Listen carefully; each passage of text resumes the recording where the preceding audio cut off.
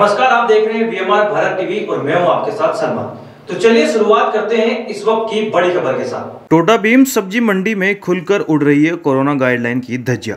फल की दुकानों पर छोटे छोटे बच्चे बैठा रखे हैं, परंतु मुँह पर मास्क तक भी नहीं लगा रखा।